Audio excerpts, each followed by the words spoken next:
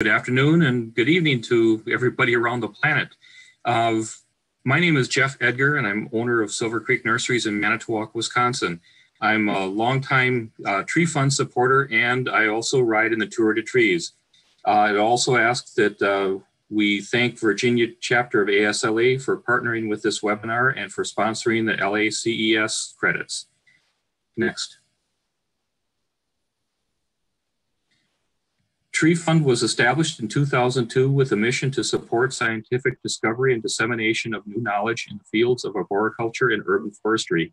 We advance our mission by issuing research grants, primarily applied research in how to better plant, propagate, and care for urban trees, provide scholarships to students in arboriculture, urban forestry, horticulture, and related, funding education for K through 12 related to trees and environmental stewardship, since 2002, the Tree Fund has awarded over $4 million for our research and education grants. Next. To see all the research we've funded through the years, I encourage you go, to go to the research archives page of our website, which is treefund.org. You can search by keyword or scientist name, and we have compiled lists of, of research projects funded most recently. After exploring our archives, you can also find other information about the Tree Fund on our website, including our upcoming webinar schedule and info on events like the Tour de Trees. Next. During the most recent ISA conference, we held an informal survey asking the question, which area of research is most vital to you? Soil, uh, root and soil management received the most votes and remains a top research priority for our community. We are actively raising funds for the Tree and Soil Research Fund, and we listen to you and we'll always be sure Tree Fund's research priorities reflect what is important to you. For more information about the Tree and Soil Research Fund, please visit our website again, treefund.org. Next. Today's speakers, we have Jim Urban of he specializes in design of urban trees and mm-hmm. soils and has lectured and written extensively on this subject, including his book, Up by Roots. He's a recipient of the ISA Award of Achievement and the ASLA Medal of Excellence for his long-term contributions to the profession. And Jim is also a Tour de Trees writer. Paul Josey our other speaker today co-founded Wolf Josey Landscape Architects and leads a diverse range of commercial, civic, academic, and institutional projects primarily throughout the Mid-Atlantic region. His particular knowledge in urban and campus design, construction, soils, native plants, and rainwater use. Paul received his bachelor's degree in landscape architecture from the University of Maryland and completed his postgraduate work in landscape architecture at the University of Virginia.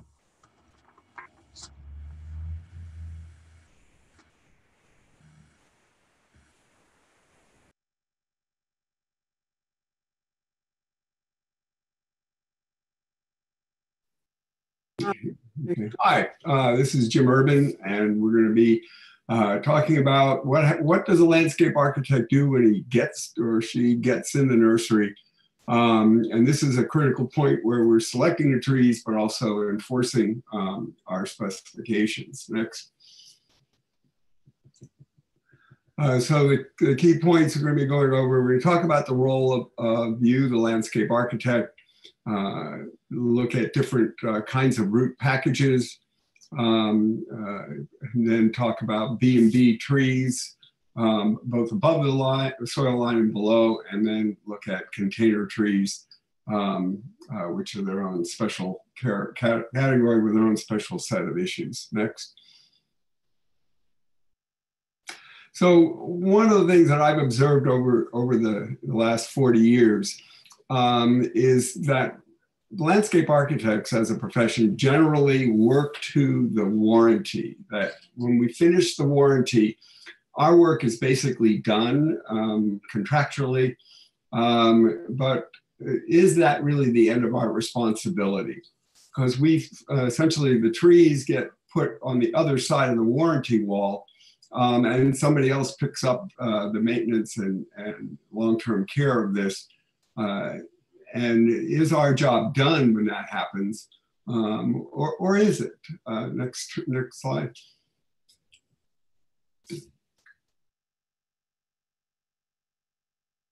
So here are two examples of trees that failed. Um, and they began their failure point um, before the warranty period. They actually began their failure point in the nursery. Uh, so a tree that's split down the middle, and you can see the the um, the, the, brown streak uh, in the tree on the on the left, um, and that brown wood represents um, included bark uh, from a codominant leader that was right where the tree broke off, uh, which was approximately the top of the tree on the day it was planted. Uh, so that codominant leader was left there by the landscape architect. Um, and then the other trees, which are falling over, are falling over because of stem girdling roots uh, that existed in the tree uh, the day it was planted. So they came from the nursery um, uh, and in my opinion, should have been the landscape architect's responsibility uh, to make sure that those girdling roots um, were not there. Uh, next slide. So when we, our responsibility certainly includes the preparation of specifications. Um, hopefully we're still doing nursery inspection and tagging, although I know even a lot of projects we don't get to do that. And we also do project site reviews, um, hopefully, and I know in a lot of projects we don't even get to do that. But these last two, the nursery inspection and the project site reviews are really critical to the success of the project and enforcing the specifications. Next slide. Um, so you, you need to start with a good set of specifications. Um, a number of years ago, um, I, uh, with uh, a number of other people, prepared a set of spe specifications for the Urban Tree um, Foundation.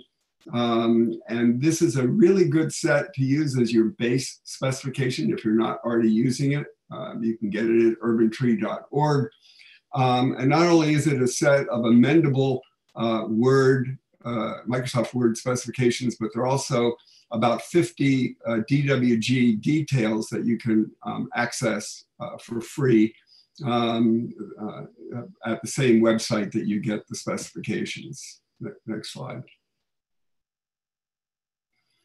So when we do our nursery inspections, most of us, uh, frankly, look at the top of the tree. We try to pick trees that look beautiful. Um, and we don't spend a lot of time um, below the ground. Um, so we, we need to be looking above the ground and below the ground. And we need to be looking at both aesthetic requirements and technical requirements. Um, so even above the ground, we need to find those codominant leaders, which I'll get into in a minute. Uh, we need to find girdling roots. We need to find out if the tree is too deep. There, there are lots and lots of reasons, um, uh, things that we have to look at when we're tagging trees. Next. Next slide. Um, and again, the, go back. Um, So the, the, landscape architect is increasingly missing at the site review period. Um, and if you're not there um, uh, at uh, critical points, a lot of things you can't see or change or fix after the tree is installed. Um, and it's really important for us as a profession to fight to uh, retain those uh, uh project site review um, uh, fees so, so we can uh, work um, on, on our projects and, and see them done correctly. next slide. So the first thing we're going to talk about is balled and burlap. Um, and I put in trees and shrubs here. Uh, essentially, we're going to be talking about trees, but everything we're going to talk about applies also to shrubs. Um, so don't think that you're off the hook if you're just uh, tagging shrubs. You've still got to be uh, looking for uh, these particular issues. Next slide. So there, there are All many, right. Yep and Paul's going to take take take over at this point. Go ahead, Paul. Jim's done this presentation so many times; he's ready to keep going. So, as as Jim points out, there's a uh, a lot of different types of root packages out there. Uh, field grown, we have bare root, we have our balled burlap container, our um, uh, grown in wood box. Um, so there's a lot of different options. We're going to focus on um, really container and balled burlap today. Uh, each type of these really is going to need a separate specification and an approach to how you harvest these trees and how you plant them, but we'll be focusing on the two most common ones uh, today. So starting with uh, the balled burlap, uh, this one is uh, probably the, you see it everywhere, you use it in a lot of your jobs. And we'll talk just quickly about how uh, this, if you've never seen it in the nursery, so it starts off, you have trees all growing together with their friends in a field. And, uh, and then along comes a tree spade, and the spade uh, severs the roots and then lifts that tree out of the ground. And, and while the tree is um, sort of screaming in shock here, uh, it's transported in the air. You can see there's it's lost a number of roots in this process uh, that are being left in the nursery. You can see those sort of still showing up, uh, those roots being left behind and then it's lifted in the air. Whatever survived the spade is then um, sheared off quickly, uh, and then that tree is uh, about ready to be packaged up and then put into its wireframe basket, its burlap, um, and it's, dropped in, and there you have your um, your ball and burlap process. So in this process, you can see there's a lot of roots that have been left behind. This is sort of wrapped up, and as it's wrapped up, you know, there's actually this sort of almost like overburden, this soil that sort of packs up against the uh, the trunk there as you sort of package these because um, they often don't have a flat top as it is in the nursery. You'll notice when you're getting your trees, uh, but we'll get to that in a little bit. So the first thing to think about is um, the time of year and seasonal considerations with um, with trees and how. If you follow the line that is, uh, this is based on um, a sketch from Kim Coder and follow the white root growth line and how that line is um, how it's actually um, you have two types of um, uh, growth cycles. So you, through the winter, you know, after the soil begins to warm up, you um, have um, uh, right before bud break essentially is where the root growth is at its peak and then the bud breaks, and then that's where actually leaf growth starts to uh, you know starts to peak, and then the woody stem growth is occurring as well. So you can tell there's this this cycle of root growth happening in the winter, early spring, and there's a second one as the leaves leaves decline, uh, the woody stem growth starts to decline. You have this secondary um, um, uh, period of root growth. So uh, the the critical thing is really the time of digging. Uh, it's not the time of planting. So if you are planting something after bud break, make sure it's been excavated from the nursery uh, well before bud break. Um, so this really gets into how that tree is going to heal in um, eventually. So you would ideally get um, so some you know we'll get into a fall planting discussion, but you know is fall planting a hazard? You know, or is it a myth? Is that really an issue? Uh, and so some would argue that um, that actually some trees do very well that you would not think of as fall, you know, maybe as a fall transplant hazard, um, so London plane trees and uh, black gums. Uh, there's there's trees that typically are associated with fall uh, hazards, but actually uh, people or growers are finding that really it's not the case, and they're growing just as well as in spring. Um, but essentially, what happens is those trees, uh, you know, I think the big hazard is when the time of year and when they're harvested. So if you think about oaks, oaks actually go dormant much later um, than most trees. So if you harvest those earlier, um, that you're sort of nipping them, you know, in this process of where there's that woody stem growth, uh, and, and, potentially even in that leaf growth. So you're actually uh, kind of limiting their ability to get those resources back into the roots, essentially. So we're after the the photosynthesis process is kind of bringing the sugars down into the roots to be stored for the winter. So that root growth cycle is really critical when you think about harvesting trees. Um, so uh, this is some research that was done by uh, Matt Stevens and Michelle Sutton, who wrote an article for Tree Age, uh, combining some of Nina Bassuk's work as well as uh, the director for uh, Trees Pittsburgh. But they even found that swamp white oaks, which if you compare a bur oak and a swamp white oak, a bur oak has a very coarse root system. A swamp white oak has sort of a little, little finer, but it's able to actually take up water uh, much better than uh, after the roots have been damaged. So Nina Bassuk's doing some research on this, but the idea is that all trees are a little bit different. um, and how they are able to uptake water. But I think the critical thing to take away is, you know, the harvest time is important. And when the trees are really, truly dormant, is when you're harvesting them. And sometimes is the case where those uh, trees with coarse roots are, are, don't they just don't heal as well, and they don't take up so much water. So they need more water to really uh, repair that lost root system. So you probably maybe you've heard the idea sleep, creep, leap. Uh, this is a concept for transplanting response. So for every inch of caliper of the tree in the nursery, there is a year of deferred uh, root growth. And this is uh, a broad statement generally applied to the middle latitudes. So if you're further north, uh, there's actually a, a longer uh, a deferred growth period. And if you're further south, less so. Um, so if you have a two inch caliper tree, you are going to have two years of deferred growth. So that's where that, that phrase sleep, creep, leap. That first year you put that tree in, it's going to just it's going to be recovering. It's going to be putting out roots. And uh, the second year, you're seeing some creep, some additional new growth up top.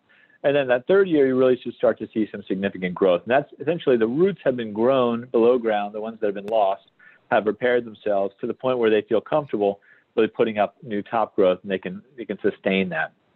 So as you get larger trees, so if you're putting six inch caliper trees in, just you know anticipate that there's going to be six years of deferred growth because it has to regrow those roots um, to support that crown. So uh, there's a balancing act with landscape architects that sometimes you're trying to, you know, get the best tree for the long term, but you also want it to look good day one. So the client says, "Oh, I've just paid all this money and it looks great." If that you showed up with all whips uh, in day one and said, "These are going to be the best trees in five years," uh, you, you, might get a, an eyebrow uh, raised at you. So think about that when you're planting. But I think the two-inch caliper is really the right um, the, the, right tree size to continue going with.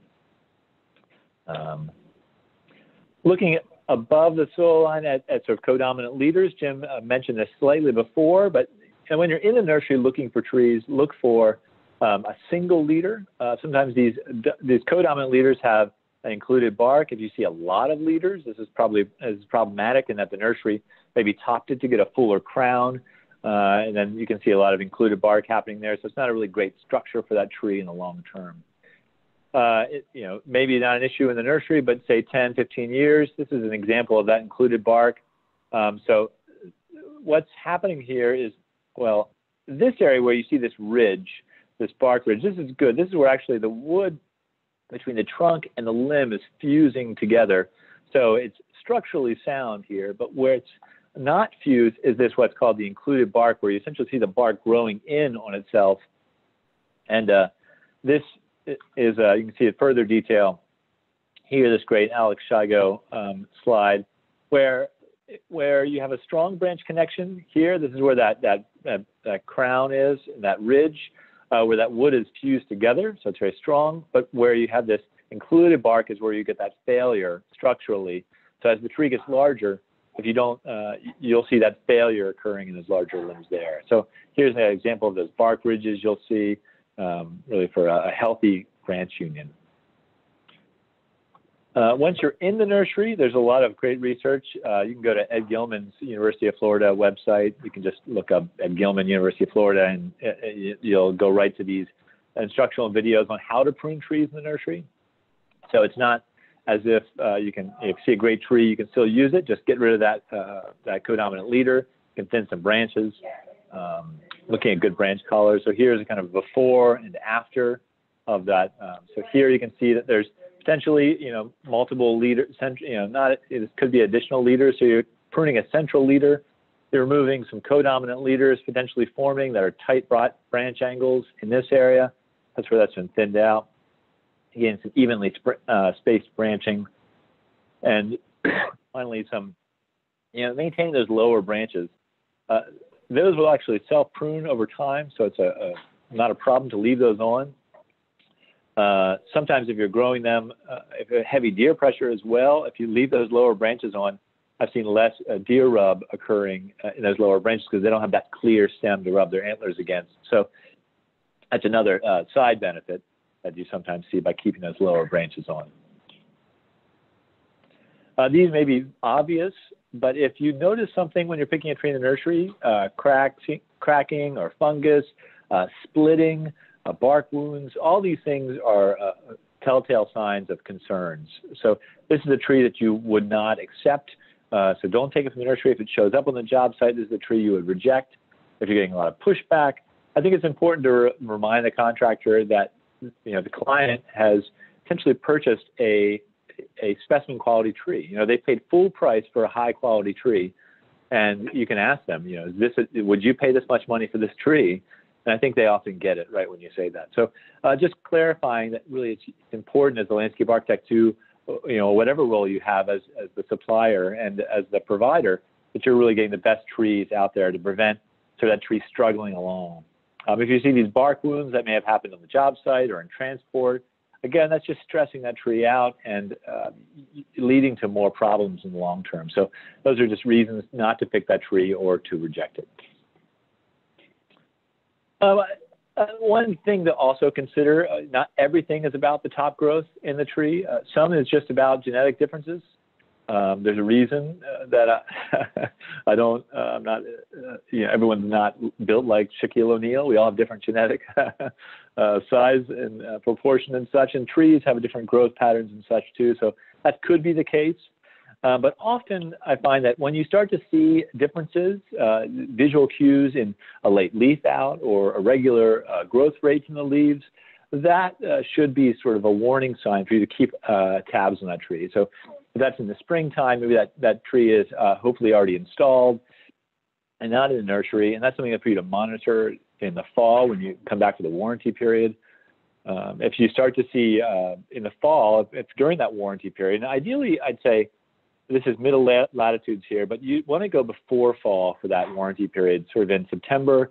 And it's important to bring everyone out there. Don't wait for that one year window because if a tree is installed say, you know, in February and you come back next February, it hasn't leaked out. You really can't see how, what the good condition it is. So it's important to get your warranty in there. I'd say every year, just target that sort of, uh, I'd say September for middle, middle latitudes, uh, mid Atlantic area. You have something different, I'm sure, in your area. But the idea is that you you don't wait for the one year period. You go visit them as they start to see uh, issues associated with sort of end of season growth. So here you can search that early fall color, color and decline potentially. So the problems will really show up there um, for your warranty. Another, this is looking now below grade, and Jim's going to get a lot into this as well. But uh, generally, thinking about where that root flare occurs. So your root flare is where that taper that transition zone is between the trunk and the root zones. Uh, it should have that sort of wine glass uh, uh, connection there. And then, but if you start to see there where there's no root flare, that's a problem. And this is saying that there's something happening below grade. That often is what's uh, girdling root, something that's circling around there, uh, around that tree. And that's maybe because the, the tree was buried too deep in those adventitious roots that are coming off of the bark, um, bark wood, not the trunk wood, are starting to wrap around that tree and uh, girdle it. So roots too deep. This is a, this is something you can do in the nursery when you're looking for trees, but a lot of times the the tree is buried too deep in the nursery. So when they excavate, when they when they spade that tree out, you'll see they've taken up this area. But what's happened is they've actually left all of these roots that you should have gotten uh, with your purchase in the nursery. So this is stressing that tree out further from a from a um, uh, from an installation standpoint. So, you know, locating this top root is critical in the nursery. So actually, if you have a surveyor pin, which we'll uh, talk about those, you'll actually just be looking for those roots to tell where they're occurring and where those sort of big structural roots are and where the flare occurs. And then you can excavate back to actually um, get the right depth of your root ball so you're not just getting empty soil. This also gets into the root ball that arrives on site that you haven't seen in the nursery. Um, so if you don't see that flare in the nursery, um, you're not that flare is already buried um, well under here. And then, as I mentioned before, and you package that, that soil is generally going to um, sort of collect against that trunk there. So you're burying that that flare, which may be occurring, you know, a few inches down, maybe as deep as uh, eight to 12 inches down, even further and getting a lot less roots there. So that just tells you that tree is going to be struggling uh, more than others if that's the case. Um, another thing just to look at, look, think about is in a nursery, not all nursery trees start as uh, whipped Some of them start as containers, say it's a, an unusual cultivar or something that's coming from a different area. Um, so sometimes there are, if they haven't pruned those off in the nursery, there are uh, girdling roots that could show up in those uh, trees. So again, it's important to look for those. Maybe it's from an earlier container where those uh, roots have circled and never been pruned out um, as that tree grew. So just important things to keep tabs on when you're looking for a tree. Uh, these are other root issues. Um, you have these uh, T roots where essentially uh, there's a uh, you know planting machine that's creating a trowel in the field. Um, as it creates that trowel, it's creating some compaction on the sides, and then someone is uh, plunking that that that whip down, and then that uh, the tree the the machine actually folds the soil in. So it's actually creating some compaction potentially at the upper layers, and that tree is the roots are actually flaring out as opposed to flaring down.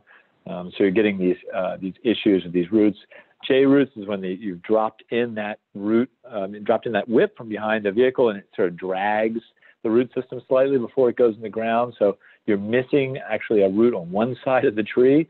This is a problem, and you shouldn't accept that. Uh, the auger hole roots, you probably won't see this, but uh, it's a fun slide. Uh, this one is uh, it, once you've augered that hole and planted that tree in there, the augering has glazed the sides of that hole and and created a perfect pot for that tree to grow in in an open field. Uh, if, and then finally, uh, the graft. I know a lot of cultivars, you know, there is a graft associated with those. So that's actually a, a normal thing. Uh, it's not the root flare. It's actually the the parent uh, the root of the uh, the parent tree, the parent stock. So just identify that, knowing that that's um, that's normal and that's also uh, not the flare. Um, so generally, roots, you know, for these smaller trees, they have a lot. Of, there's a lot of similarities between them, but you can see they're sort of uh, growing out. They're growing laterally, uh, but they're also uh, growing down. So you have propagation does a little bit different uh, in that you start to roots start to do a few other things uh, depending on the pots or how they're grown. Um, so these are all concerns that the propagation process could create other root systems than what you're expecting to get uh, from your nursery tree. So again, you're, you're looking for those flares in these uh, trees. So what to bring to the nursery? Uh, this is if you are going to the nursery or even uh, if you're just looking at trees that have showed up on site for approval.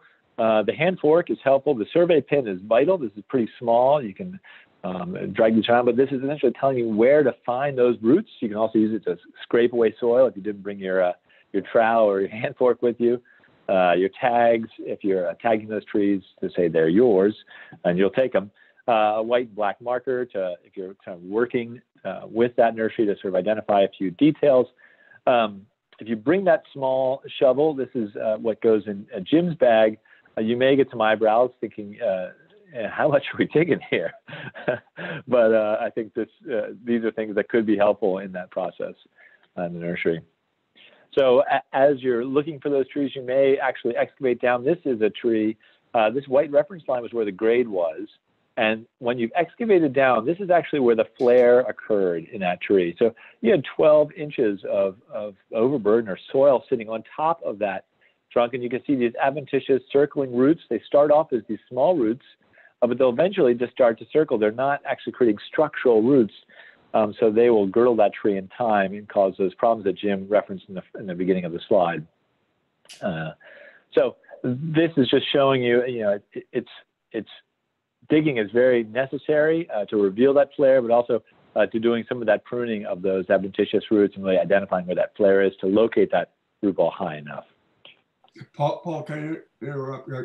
Are you of course. Um, the, the top line, the white line, is actually a reference line that I'm recommending we put on trees so that once we identify, the red line is where the grade was, and the yellow line is where the top of the root ball should be.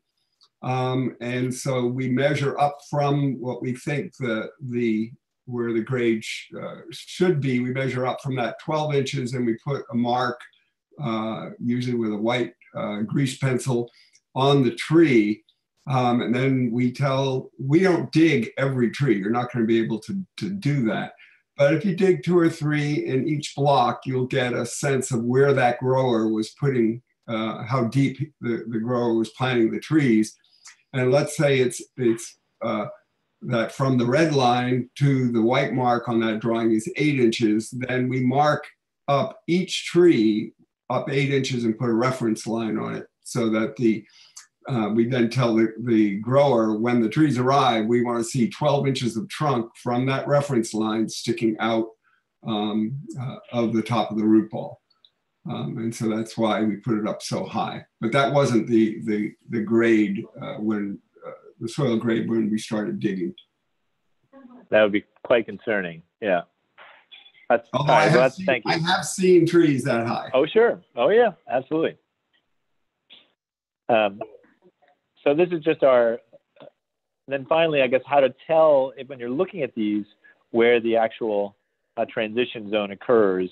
Uh, this is just a, a, quick ID. Trunk bark is going to be unique to every tree species, but generally that, uh, that root bark, uh, you're going to see that, that those perpendicular ridging, uh, ridges that occur where that sort of those lenticels are uh, occurring, and that's actually that, that's going to be a different wood altogether than that, that trunk. So that's where you can really tell what you what you've hit there as well. Uh, and then finally, uh, where to plant these trees. So uh, again, remember that that how that that tree was sort of packaged together, and that that soil has risen up there. So you never want to ever plant them at this level. That, that's a problem. I think the ideal level is really that edge of the root ball. Uh, this zone, so you're planting it slightly high, uh, but you're actually removing a lot of that soil and you want to see that flare. That's really critical. So if you just do this uh, one time, you know, you want to be there for the hole being dug and then uh, and how they're putting that in the ground. Um, this this would help them, uh, the, the, installer, really know what you're trying to get across, and also not digging the hole too deep, uh, making sure it's uh, really measuring from this yellow line down. That's the depth of the hole. Uh, if it's over, if it's too deep, you'll get some unusual settlement and such. You really want to recompact the bottom of that, that hole. So um, if it's a slope site, just note that obviously that, that root ball will be uh, on, on its slide side slightly, so you don't want roots going out into the air. So maybe you plant it a little bit deeper on that on that steeper slope uh, to account for that. And then this gets into um, the container world from Jim. Okay, so all, on container trees, all of the things we talked about above the soil line apply to both B and B and container trees. Um, but container trees below the soil line um, have their own particular set of issues. Next. Um, so we, we need to uh, start looking at these container trees as to, to what the circling roots, the roots on the outer edge of the pot are going to do um, in the future. Um, and typically you can almost always identify the, the type of, whether it was a B&B or a container, when you're looking at an older tree that's failing uh, by the diameter of the, the circling roots um, uh, that you can often see right at the ground level. Um, generally that, that diameter will tell you what the diameter of the root ball was um, at the time uh, the tree was, was planted. Uh, next slide.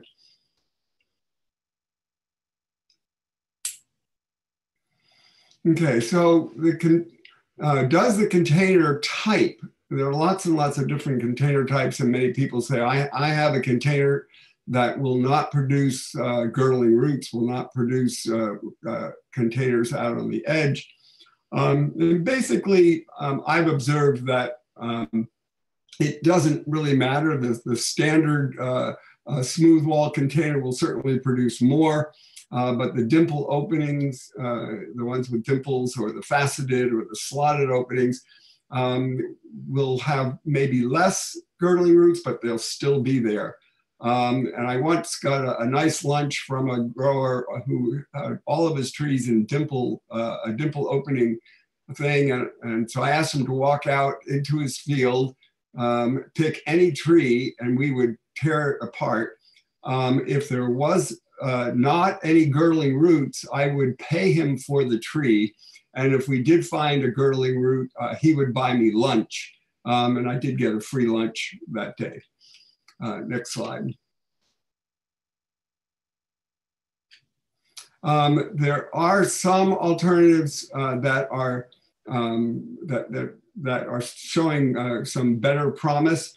Um, these grow bags, uh, starting on the left side, um, uh, seem to uh, uh, if, if, if the growers working with the well seem to offer us the opportunity for less circling roots, um, and but but still the grower has to be processing those balls correctly. Uh, Brian Kempf uh, has been working with an extreme open mesh uh, ball, um, and he's not getting any girdling roots um, along the, the edge of the balls.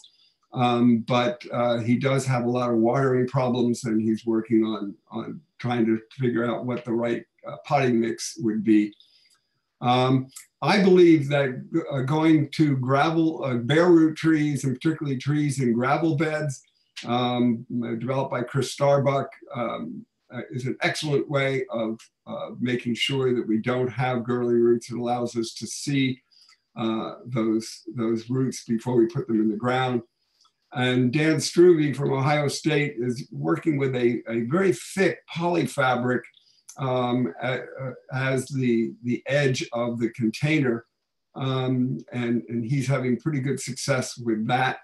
Um, it's, uh, and he now has a, a nursery uh, that is, is in, it has this particular um, approach in, in full production. Uh, next slide.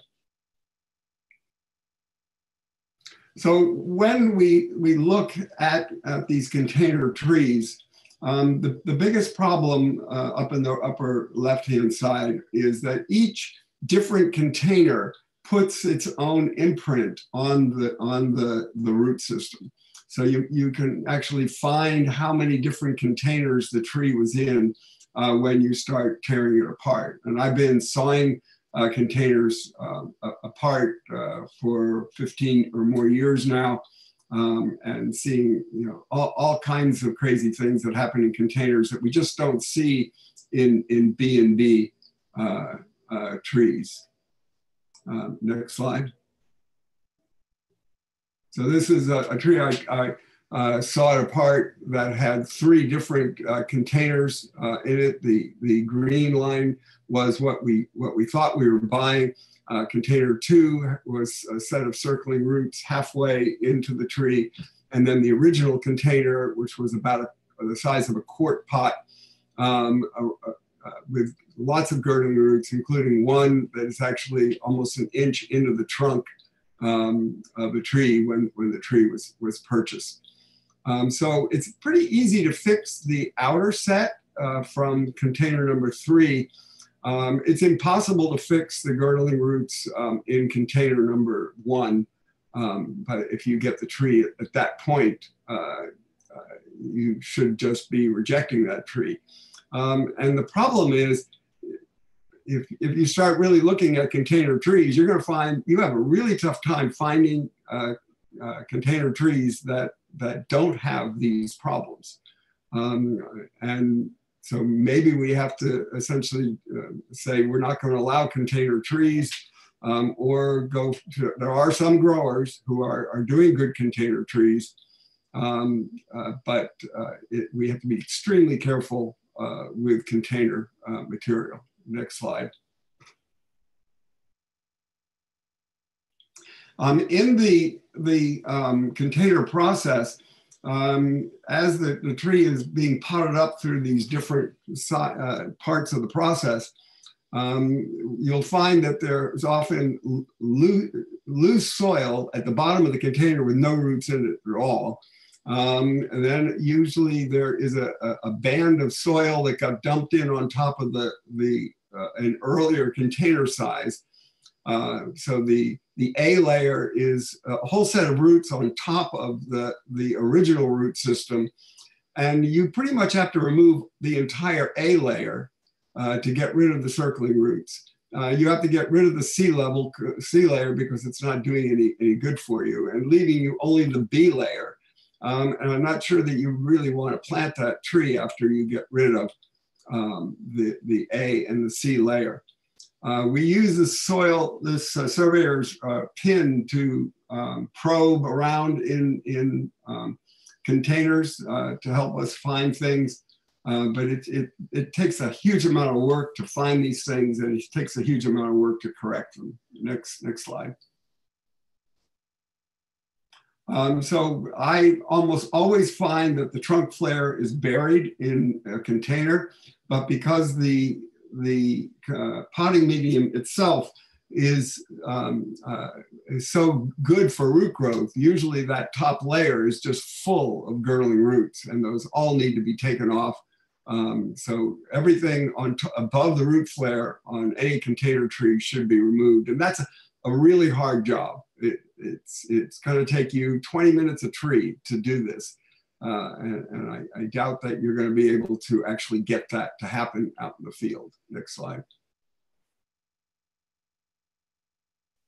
Um, Ed Gilman has been working with shaving the outer edge of the root balls to get rid of the outer uh, set uh, of, of um, uh, circling roots. And this is a, a, really good technique if that's your only problem. Um, but this doesn't solve the problem of the, the um, soil and roots above the root flare um, and doesn't solve the interior circling roots. Um, and though, even though it looks like you took an awful lot off of that root ball, uh, Ed's work found that it didn't make any difference to how well the tree transplanted. Um, uh, and after a very short amount of time, you had equal, uh, you had equal growth on the trees. next slide. Um, one of the things that we, we, we need to understand is that when you cut a root, the root keeps growing in the direction of the, the cut behind the root. So on the left-hand side, you can see that if I cut the roots um, after they've started circling, they will just continue to circle. Um, so if you're going to cut a circling root, you have to go all the way back to the point where it, it is going radially from the tree um, in order to get uh, uh, the root, the, those new roots not, not to circle. Uh, next slide. Um, so the I believe strongly that the ultimate uh, uh, fix for the root system is going to be going back to um, bare root or bare rooted trees. Um, uh, uh, Nina Bassuk has done some really good work on dipping uh, bare root trees in hydrogel to extend the, the season. Um, Jim Flott uh, and Bonnie Appleton worked for a long time on actually taking B and B trees and, and pressure washing the, the soil off and correcting the root systems. And they've had very, very good luck. Uh, Jim Flott works in, in Western Washington um, a state where it's very dry, and he's uh, had good luck with this. Um, and the, the uh, Missouri gravel bed um, is an excellent uh, uh way of, of, essentially bare rooting the tree, producing an, uh, an incredible uh, root system that allows you to plant leaf, trees in full leaf in the summer, bare root. Um, I've done this on some projects where we bare rooted uh, nursery grown balled and burlap trees, um, held them in gravel beds, and they transplant uh, quite well. Next slide.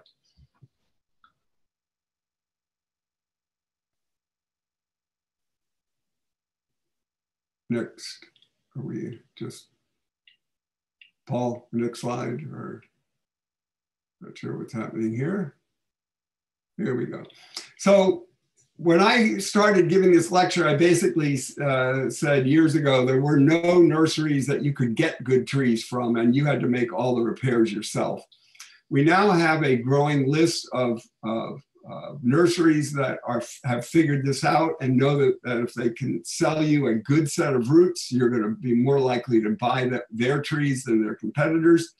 Uh, this is a short list of of representative nurseries from around the country that I'm familiar with that um, have uh, where you will get good roots, you will get good tops. Um, these nurseries understand these particular things we're talking about.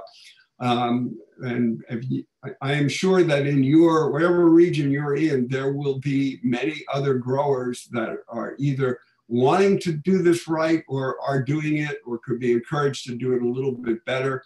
And this is where I think you need to set up relationships with uh, your, your nurseries uh, uh, that you're using and working with them um, and getting them to change their practices uh, and they will do this. It's this list is is just representative. There are many many other nurseries where you can right now buy uh, good trees with with good tops and, and good bottoms. Next, next slide. I think Paul, you you take over for the. Yeah, and so this is just looking at uh, Tree Fund and the Tree and Soil Research Fund. Can you hear me? Yep. Okay, just checking. Uh, there's a lot of great research that's being done by the Tree Fund, and uh, you can see a number of the researchers here. Uh, again, this whole presentation will be provided on uh, YouTube. You can watch this after the fact. Uh, you can reach out to these people with questions. Uh, but there's, you know, if you want to go check out the Tree Fund website, look at the research they've been doing. you can see lots of great examples of people kind of continuing this, and we hope that um, additional, if there's any researchers here today, that they're they're uh, they're also taking notes on other questions. We have plenty of them ourselves, so um, we'll keep this going. Okay, so, so that we're ready for questions. Yeah. Great. Yeah. I'm gonna, Paul, your video turned off, so I'm gonna um, ask to start the video, or else maybe you can try and start your video. There you go. Now you're back. ah, sorry about that. No worries. Uh, so this is, yeah, I also wanted just to, to give the obvious a reference to great, uh, you know, Jim's book Up by Roots. If you ha- don't have this, it's a great desktop reference. Uh, this is, everyone should have this by their desk with any of these questions. Also, there's other ISA manuals and uh, the journal of uh, the Arboriculture Journal that's uh, terrific with updated research that you can pretty easily uh, read yourselves. Um, if you're an ISA member, you receive these. But anyway, so this is that page that I was referencing with other researchers I was talking about. So anyway, opening the floor to questions. I think, uh, Jeff, you've compiled a list. Yes, I have. And uh, it's a pretty good list of things on here. Um, first question is uh, harvest season, is that endemic to regional climates or is that uh, pretty much universal? Uh, Paul, Paul, why don't you address that one? Or- Um, I'm sorry, repeat that one more time. Uh, for harvesting plants or, or trees, uh, is, is that uh, more of a regional thing? I, you were talking earlier about um, spring and fall and, and such. Uh, what about uh, more tropical areas where there really isn't a spring or a fall per se, like we do uh, north here or out on the coasts? Yeah, unfortunately, that where I'm really targeting that sort of that middle of the country primarily. So I haven't, you know, Jim, I'm sure you maybe have more information about if there are those sort of fluctuations occurring in uh, tropical zones. Uh, I'm sure they are, but I'm just not sure, you know, how seasonally tied they are because there's no winter.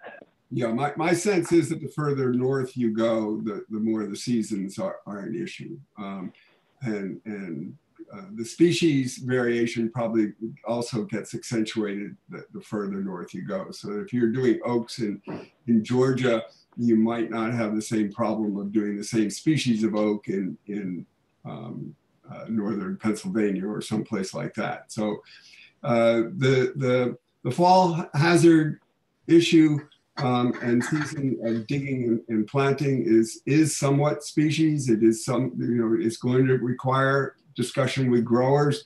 Uh, they are, but they like us are, are, fixed in in the way that they you know they think about uh, things. So it, it is going to be a learning process and a discussion.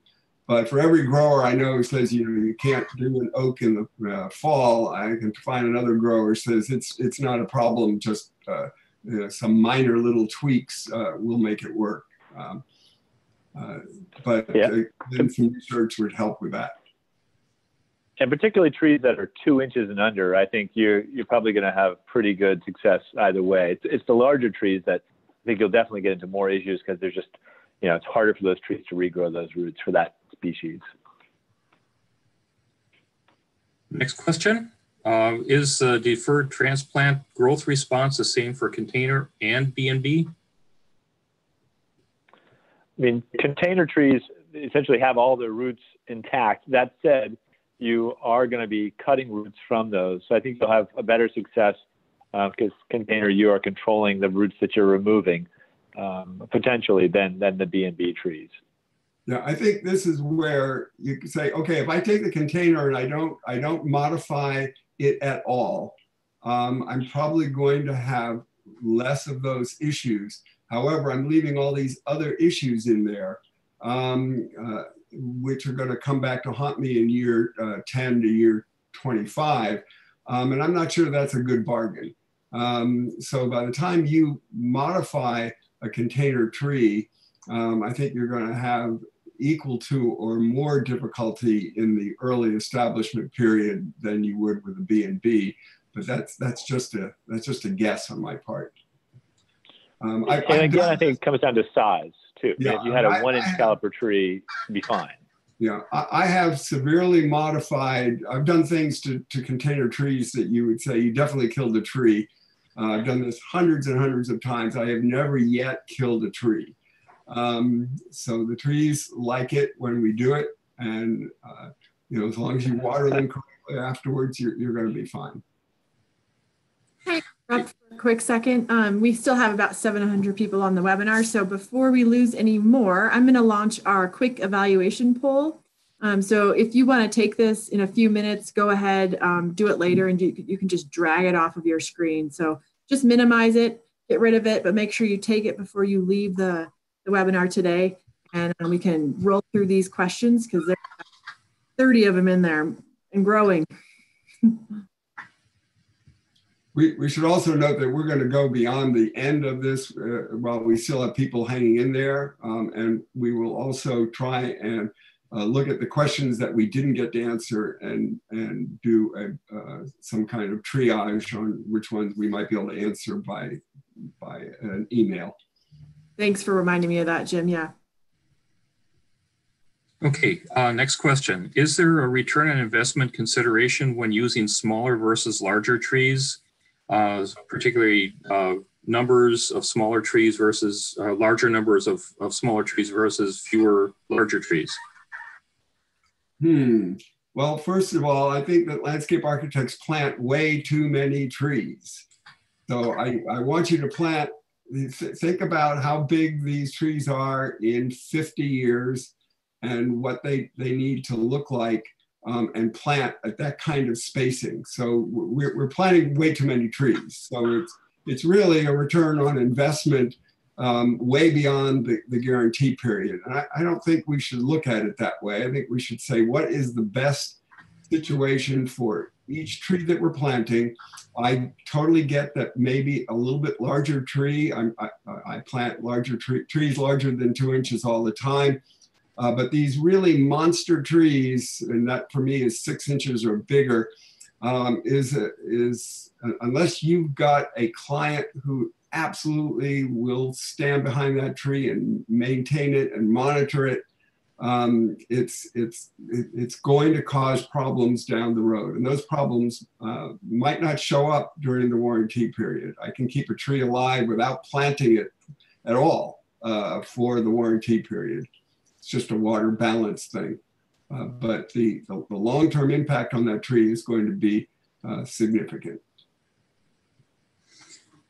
Okay, uh, next question. Uh, um, somebody wrote in uh, the B and B root collar is too often too uh, you know buried too deep into the into the soil.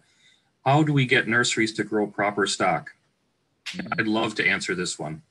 Okay, why don't you? well, be, being a, a, a, nursery grower and uh, working towards retirement, I don't have a lot of um, uh, problems with with uh, these types of questions. But I, I will. I'll, I'll, start off by saying, anytime that man uh, or humans uh, interact with with nature, there's always a negotiation whether or not that tree is going to live or not uh, depends on a lot of things. And uh, we try to do our best as a grower to to make things grow because otherwise what's the purpose? Um, but uh, we every state i believe every state has an inspection service that inspects trees for health and they don't inspect for uh, the the visual uh, aspects of the trees they don't uh, inspect anything to do with the roots uh, the methods of growing, the methods of harvest, or anything like that. There's um, a program out there called SANC, S-A-N-C, which is Systems Approach to, approach to nursery. Um, uh, I can't remember what the C stands for. Maybe somebody out there does, but um, of that addresses the insects, the diseases, and whatever else. I think what we should do is have some sort of an inspection service uh, out there to inspect the physical attributes of the trees, how they're grown, etc. Um, so Paul Reese in, in Washington State said that the politics of trees are much uh, more difficult than the science.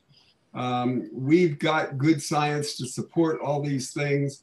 The um, it, it's really working with your local growers um, that that you feel strongly about. Um, trying to set up the politics of the, the, the buying so that if you can pre-purchase trees, um, stay involved with, with the project. You have to have a good set of specifications uh, to begin with, which we just gave you um, at the beginning of this uh, pro process. Um, and the, but, but it still comes down to your relationship with the grower. Um, if you, if you're, if the trees are just arriving on the site, there's almost nothing you can do. Um, so it, it, it's going to take a long-term uh, I've already been working on this problem for 15 years, trying to educate nurseries. And you saw from the list uh, 15 years ago, there were no growers that were doing this right, um, or maybe just a few. And now there are legitimate list of growers uh, that we can work with. Um, so, so learn who your local growers are who are doing a good job. Try to encourage them to do a better job uh, work with them, and you can fix all these problems. The specification that i have given you um, has a fix for every one of these problems at the job site. It's just going to cost the, the, the contractor who's buying the trees a lot of money to fix them. Um, so can you play hardball with the with the the grower uh, with the, the contractor once the tree arrives on the site? If you don't have that ability, there's not much I can do to help you. Um, but it, but we all have to work together um, uh, to to lift the bar for for everyone. And the bar is lifting. Um, think positively, uh, but it's going to be another ten or fifteen years. Uh, I hate to say it that way, but probably. and I'm retired, and Paul's going to be picking up the lance. Along with half the people on this uh, call, you're here on the call because you know you're now part of the team to lift the bar. Okay, Paul, any thoughts? Well, I mean, I, I, think just the obvious one is, you know, as Jim said, reaching out to your nurseries, knowing your nursery is going to see them. I mean, it's a competitive business for them. They want to be the best grower. So if you go and you do an excavation and show their girdling roots, often they'll say, "We guarantee this, and we'll replace this tree," or, um, you know. So I've actually done some bare root work where you take it out and you say, "Oh my gosh, all of these, this one variety has girdling roots. This is a problem," and uh, and those growers get it, and, and, they'll say, "Oh, we'll we'll remedy this, and we won't, you know, we'll be looking for this next time we put those in the ground." And hopefully they do. And I think they they really have the best interests at heart. That they really want to grow the best trees. So again, working and communicating is critical. I just remember what the C at the end of SANC meant. It's certification and that's where we're lacking in this uh, physical attributes of the tree uh, is we don't have a certification program if we did uh, it's kind of a backdoor way of forcing nurseries to uh, if, if, they want to uh, sell the trees uh, and have it must be certified in order to get certified they have to follow this criteria and just the same thing as you do with insect and disease problems i think a, a certification program along those lines might help and, and, this is a good example. The warranty will not solve these problems. It's much cheaper for the contractor to, to, replant a few dead trees than to try to fix all the trees and make them so they're good trees. Uh, if, if it was, if I was in charge, I would get rid of the warranty. I don't think it's doing us any good in terms of uh, the long-term uh, quality of project that we're handing to our clients. Um, so do not depend on the warranty. Uh, depend on your specifications to say if, if, we don't care about the warranty if it doesn't if you have if the tree wasn't planted the way the specification said it's rejected and it can be perfectly healthy looking on the top but if it, if it doesn't uh, look good on the bottom, you should reject it. And until you take that attitude, you're just going to be stuck in the insanity of continuing to redo the same thing wrong and expect different results. Uh, This is more of a comment than a question, I believe, uh, regarding the gravel bed. Uh, Root issues can be observed and can be taken care of easier in a gravel bed produced plant than, uh, than something where you can't see the, the roots because of the soil. Exactly. Any, yeah, okay. Of this, then is there a formula or something? This, is kind of the of same type of uh, comment rather than a question, but uh, establishment uh, based on storage and transportation installation follow up care of, you know, or I should say, tree establishment of longer establishment time, something you know, in the in the process of getting the tree from point A to point B and taking care of um, does does uh, affect the the reestablishment time. Um, Paul, you want to take a shot at that one? It's I, it's more of I'm a sorry. I was actually reading another comment and, and trying to, yeah, so I missed it. Jeff, what was it again? Yeah, Oh, uh, here, I, I, I'll, I'll, I'll pick up because of time. Um, you can, you can compensate for some of these things by more maintenance. Um, you know, making sure that the water, you know, you, you've got additional watering. Um, you can plant, uh, a, a, a, use a, a bigger root ball. You can, you can make sure you've got the roots in the right place. It's, it's pretty clear that if, uh, uh, the, the research supports that roots that are too deep in the root ball that it's going to take a longer establishment time than than the roots being high um, so we we can we can overcome these things with with some level of maintenance. Uh, but once you get up in the six inch range the tree is going to look fine. It's just not going to grow as fast. And and I've, I've observed so many trees that i planted over the last 40 years um, and really regret decisions that I made or, or, got sucked into to plant eight, nine, 10 inch caliper trees, um, only to watch a number of them not make it. Um, and the, the, the, smaller trees on the site bypassed and blew away those big caliper trees. Um, uh, just, just go to the, the 9-11 Memorial in New York um, and, and look at the, the tree growth on, on those trees. They've been in a, a long time incredibly well prepared trees, um, but there there are issues. Um, so the, the, these you're just not buying anything other than the gratification for you, your client. Um, uh, everybody feels good about it at the end when the project's done, um, but I'm not sure we're we're we're being sustainable or or uh, acting uh, responsibly. Um, Another question is, uh, should we dig oaks at bud break? And that might be something, uh, i would like to start in on that one first uh, before you guys do. Um, I have a colleague up here in Wisconsin, Johnson's Nursery, and they have a, a chart of uh, the best times to to harvest trees, and it's based on the, the species and the timing of the year and everything like that. And if anybody's interested in, in visiting their website, I don't have the web address, but if you Google Johnson's Nursery, Wisconsin, uh, you'll be able to search through their website and find that chart, which uh, for at least the northern areas will give you an idea of the best time to move trees.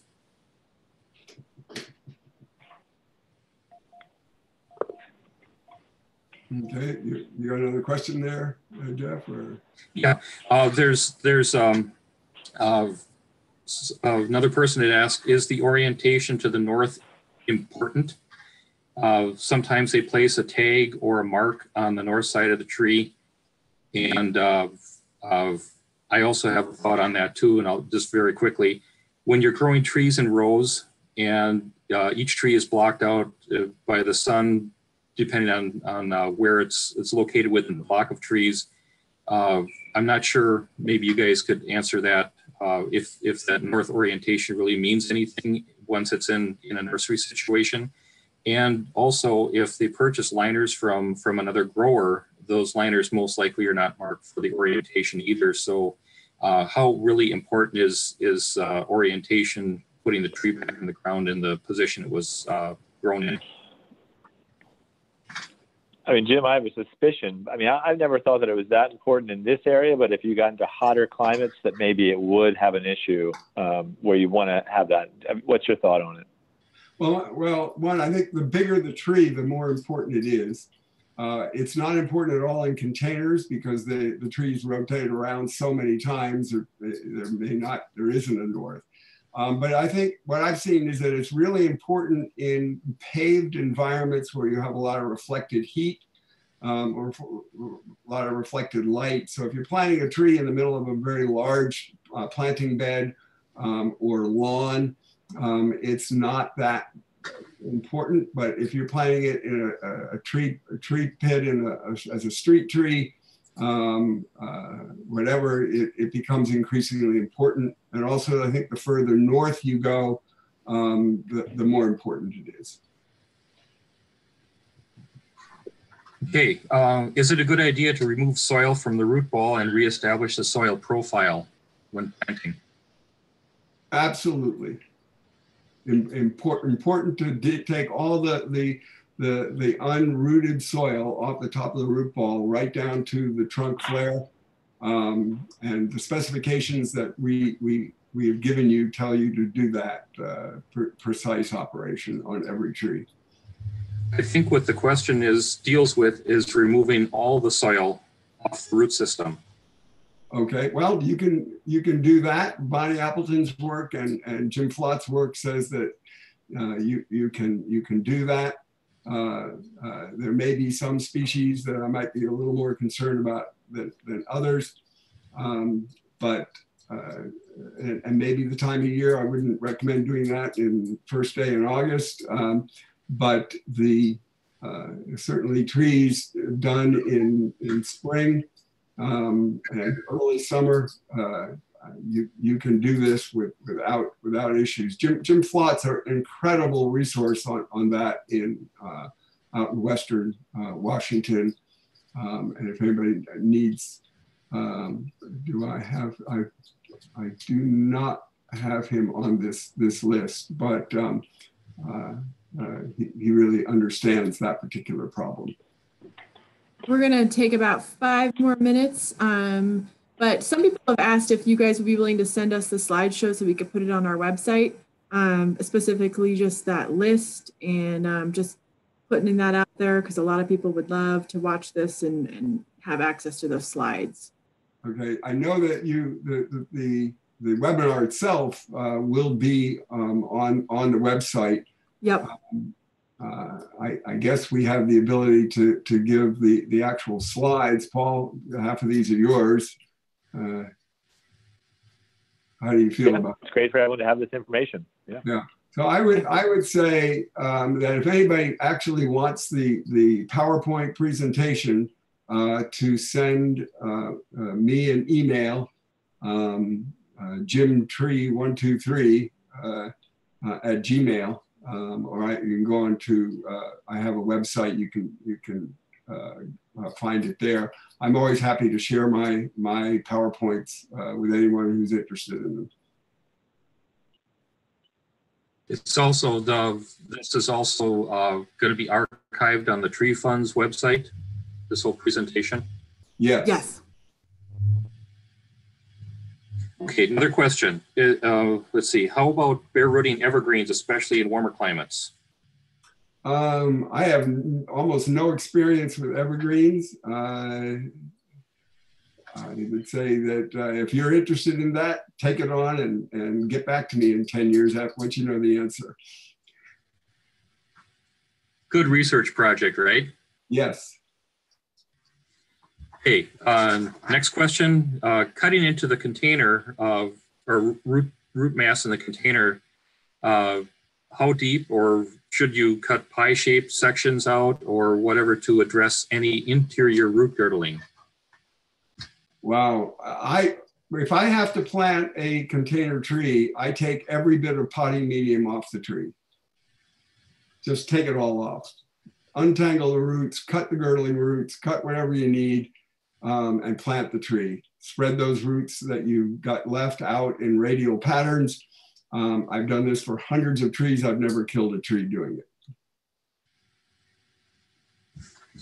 Uh, then I'm, I've, that was the end of what I had on my notepad here. Uh, there's a few more in here and then we're pretty much done. Uh, this is pretty much a, a, statement rather than a question, I believe. Keeping the lower branches on the tree are important in the development of trunk taper, making the tree structure stronger. Um, I'm thinking I'm missing part of that, so maybe that is a question, and maybe it is uh, asking if keeping the lower branches on is important. But, I mean, I think it's a statement. They're saying that you know, essentially it, it, leads to a stronger tree by adding, you know, by keeping those lower branches on. Before I was, you know, advocating for them. Um, you know, it's an additional branch that's going to that's going to produce photosynthesis for that tree. Um, it's, it's a value for that tree. So the idea that it actually creates a better uh, flare, I I don't know that to be true, but that sounds interesting. Yeah. If you go on Ed Gilman's website, uh, University of Florida, he has a whole section on just keeping the lower branches and and how to you can prune them back a little bit um, so that the uh, they're still doing their biological thing without getting in the way. Um, uh, so go, go to uh, University of Florida, Ed Gilman, and pruning uh, uh, sections and, and, all about that. But it's it's very very good. Um, a little hard on street trees, but uh, the, the the more lower branches you can keep, the science says does really good things. Next question. What are your thoughts about nurseries that remove the central leader and make many uh, heading shearing cuts around the crown to shape shape the tree in the nursery, whether it be for aesthetics or because it's too top heavy? I'm finding this at many nurseries. I'm thinking pruning the young, uh, pruning that that young might not be bad. I believe Ed Gilman claimed the same, but uh, removing the central leader or central stem definitely can be problematic. Uh, I've I've seen people shearing trees just to make them look nice for for retail sales, and then then a few years later things start showing up that are really causing some uh, some structural and safety issues. And I, I, personally, I don't think that that's that's true, or I mean that should be done.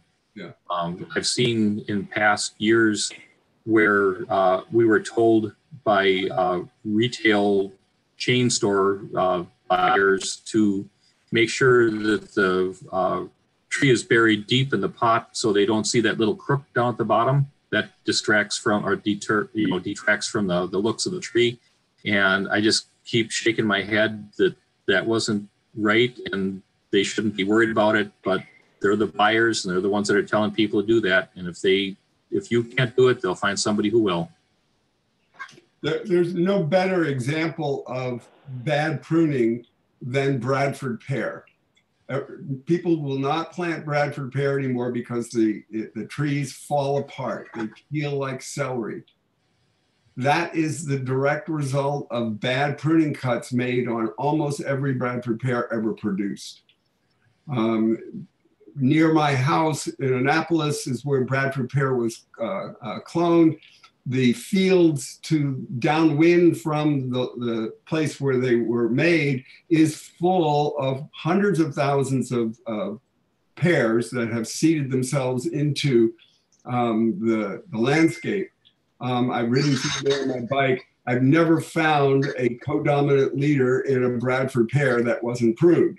It's a perfectly good tree. We should reintroduce it as a single leader tree and it would be fabulous. With that, I think we'll wrap it up. Thank you, Jim. Thank you, Jeff. And thank you, Paul and Monica. Um, what a great presentation. I know I'm going to have to watch it three times because in my house here, we have some planting to do. So um, thank you for joining us today, everybody. And keep your eyes out. Like Jim said, we are going to categorize all the questions, gosh, 58 questions we didn't get to, and sort of categorize them and see if we can address them a little more broadly. So keep your eyes out for um, an email from me, and all four of us will work together to make sure that we um, answer your questions because that's what we're here for. Uh, but thanks again, everybody, and y'all have a great rest of your day. And yeah, signing.